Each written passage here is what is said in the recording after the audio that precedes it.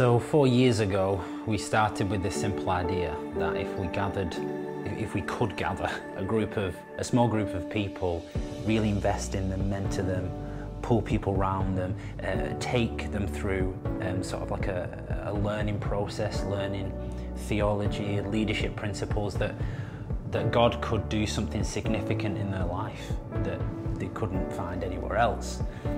And in those four years, God has really met us in that pursuit and we, are now at a point where we didn't realise we could be. You know, we have two-year options. There's like a two-year progression where we started off with just a 10-month kind of program.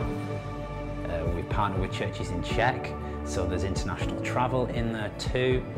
We've seen over 20 students from two different continents, three nations, four nations, soon in the next intake, uh, from seven different church contexts. I just think man, you know, co college has an appeal to it because it's cool and it's, it's on the money.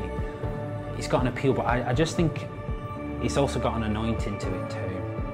And okay, it looks great, it smells great, but God does some serious business in student, students' lives. Like we've, we've had students that have been released from some old habits, addictions. We've seen marital relationships get healthier.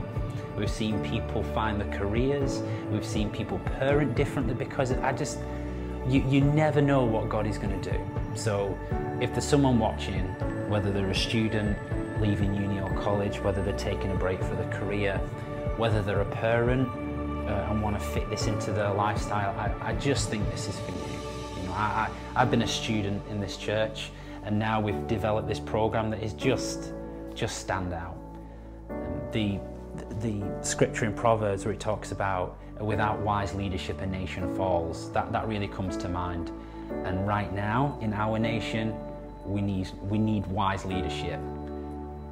So I encourage you, join us and let God do the impossible and the immeasurable like we've seen him do year after year after year. And who knows what's going to happen in four years' time because there's an appeal to this, but we've also got God's anointing. And that, that's really exciting.